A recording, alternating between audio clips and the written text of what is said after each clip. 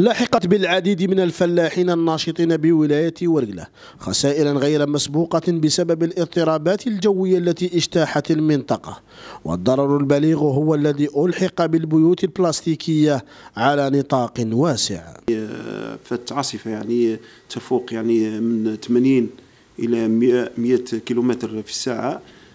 مما يعني آه، عدة فلاحين يعني اللي آه، تكبدوا يعني بعض الخسائر. يعني المنتوج يعني البطيخ يعني تقريبا معظم يعني البيوت البلاستيكية. يعني تقريبا واحد واحد 200 يعني 200 يعني 200 بيت بلاستيكي يعني على مستوى الولاية. كما دعا مدير الفلاحة بالولاية الفلاحين إلى ضرورة تأمين محاصيلهم الفلاحية من الكوارث الطبيعية. وحنا يعني الحث على الفلاحين من أجل يعني يعني يروحوا يعني الصندوق الجهوي اللي تعاضد الفلاحي من أجل يعني التأمين.